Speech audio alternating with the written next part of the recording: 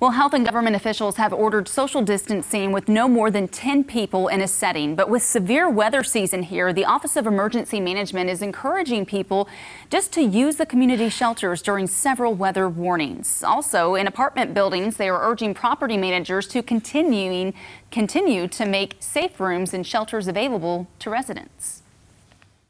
I trust all the people in our apartments. We have a lovely community here, so I, I have firm belief that we'll all make it work well. TLC Properties says they are following all recommendations from emergency management officials in order to keep their residents safe. That means the common areas will be available and shelter will be open during severe weather warnings.